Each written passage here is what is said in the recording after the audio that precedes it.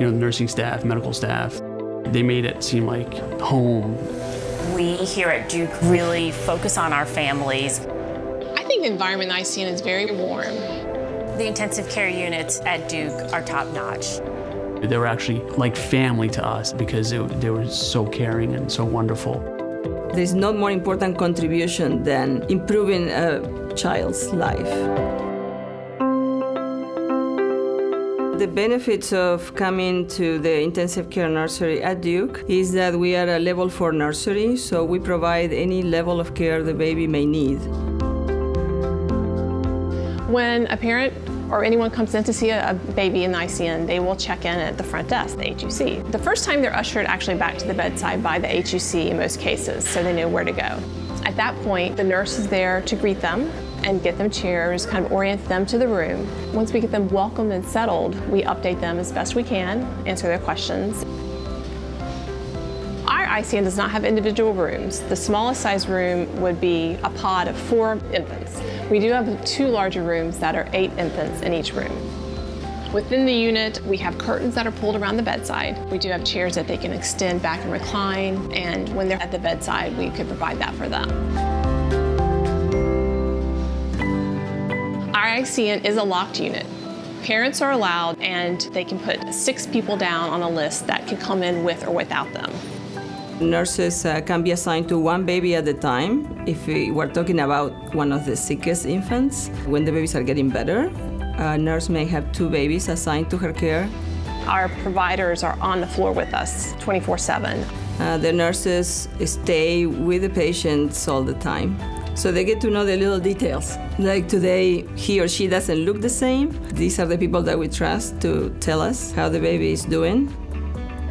We spent 111 days at the ICN, and the care that we received every single day, every hour, every second was great. It, we couldn't ask for anything more because from the time we got there to the time we left, that care was phenomenal. Please know that here uh, there are physicians and nurse practitioners 24 hours a day. It takes a whole team and more than one team to take care of your baby.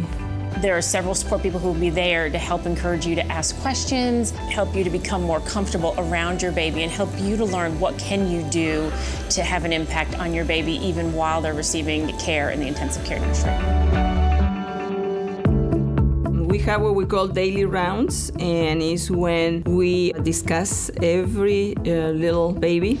We decide what changes need to be made. Has they had a good day, have had a good night, how are they progressing with the plan of care thus far, and make changes based on that.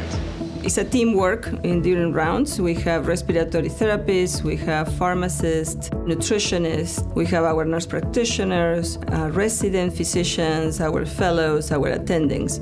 So it's truly a multidisciplinary round that may include, of course, the parents if they're there, as well as the bedside nurse. You have to think of rounds maybe like a think tank sometimes. We need to all come together to determine a plan for this child.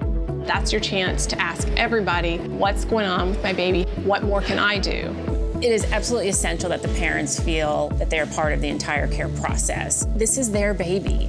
They need to be hands-on, they need to understand, because in the end, the baby's going home with them. While babies are in the intensive care nursery, of course, they are being watched uh, constantly. They are being monitored continuously. Yeah, the nurses at the bedside will be the people uh, explaining to you what it means, each item, each cable connected to the baby's uh, body. We are reminding parents, look at your baby, not the alarms. It's our job to look at the alarms and make sure everything's okay. And if there's not, we're going to tell you.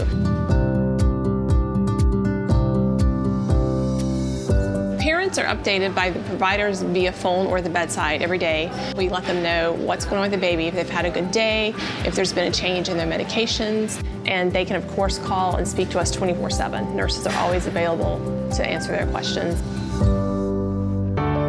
The first thing parents usually want to do is just to see the baby.